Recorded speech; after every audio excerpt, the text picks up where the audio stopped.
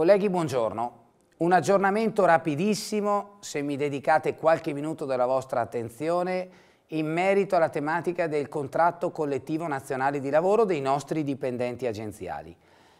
Il Sindacato Nazionale Agenti non ha trascurato l'argomento, non ha fatto saltare nessun tavolo e non ha interrotto il confronto con le associazioni sindacali dei dipendenti ha però cambiato livello del confronto fino a quando non esisterà una credibile linea di condivisione tra lo SNA e i sindacati dei nostri dipendenti agenziali. Perché? Perché voi dovete sapere ciò che pochi purtroppo stanno mettendo a conoscenza dei colleghi. Dovete conoscere il fatto che chi non ha versato gli acconti consigliati da SNA negli anni scorsi, nel caso di sottoscrizione del contratto 2011, il contratto di lavoro che il Comitato Centrale SNA ha bocciato con una maggioranza quasi totalitaria, in caso di accettazione di quel contratto, ciascun agente dovrà versare ai propri dipendenti a titolo di arretrati maturati, se non arriveremo, se non raggiungeremo un accordo con le organizzazioni sindacali di dipendenti che possa forfetizzare questa cifra, decurtandola in maniera rilevante, dovrà versare per ciascun dipendente un importo che va dai 4.000 ai 9.000 euro. Per un'impiegata di seconda categoria si parlano di cifre intorno ai 5-6 mila euro per ciascun dipendente che era in servizio nel 2008 e che lo è tutt'oggi. Un'agenzia con quattro dipendenti, nel migliore de, nella migliore delle ipotesi, non avendo versato gli acconti consigliati da SNA, si troverebbe a versare una cifra superiore ai 20.000 euro anche nel caso fosse rateizzata in due o tre importi, voi immaginate l'impatto che questo sforzo, questo sacrificio economico avrebbe su una rete agenziale che oggi ha evidenti problemi di sopravvivenza economica che oggi sta affrontando la più grave crisi di redditività della sua storia. Come facciamo a immaginare che un'eventuale decisione di questo tipo, cioè di sottoscrivere, di riconoscere il contratto 2011 con tutto ciò che si porta dietro, possa non avere impatto devastante sulle agenzie italiane oggi? Allora io vi propongo la possibilità di optare per una strada di maggior condivisione con i nostri dipendenti della gravità del momento. Lo SNA sta cercando di indurre le sigle sindacali dei dipendenti agenziali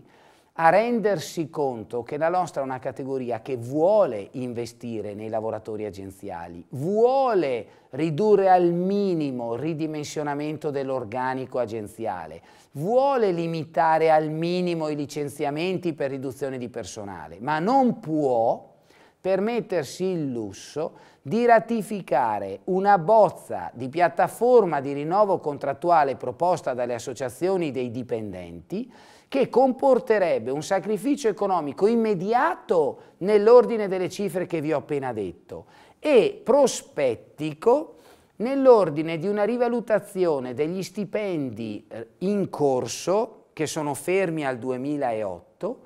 di somme superiori ai 120-150 euro in base agli scatti di anzianità e alle categorie al mese per ciascun dipendente.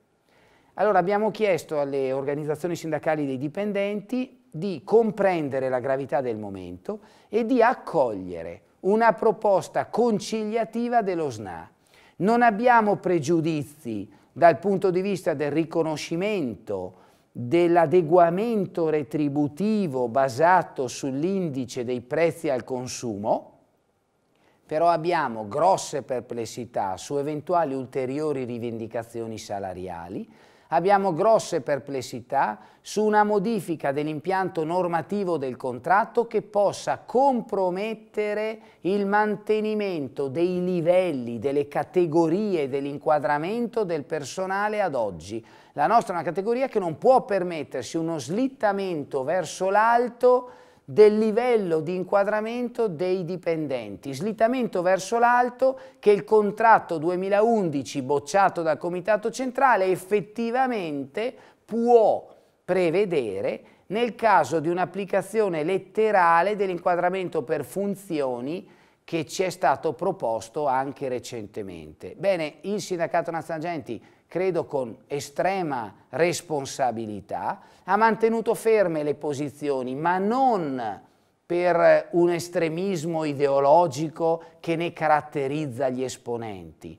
ma per un senso di condivisione con tutti i nostri iscritti del momento di maggior gravità nella storia degli agenti di assicurazione dal punto di vista della redditività. Se non ce lo possiamo permettere di sottoscrivere una piattaforma sindacale di CNL troppo oneroso, io credo che sia compito dell'associazione di rappresentanza degli agenti cercare di condividere con i propri dipendenti questa criticità. Siamo positivi, ottimisti, pensiamo di aver rappresentato in maniera adeguata alle sigle sindacali dei nostri lavoratori agenziali la situazione, a breve conto di intrattenervi nuovamente su questa tematica. Mi auguro con notizie positive. Diversamente, come categoria, saremo chiamati a delle scelte dolorose e difficili, non ultima anche quella di pensare a una riscrittura complessiva del CNL di riferimento per i nostri dipendenti. Grazie dell'attenzione e buona giornata.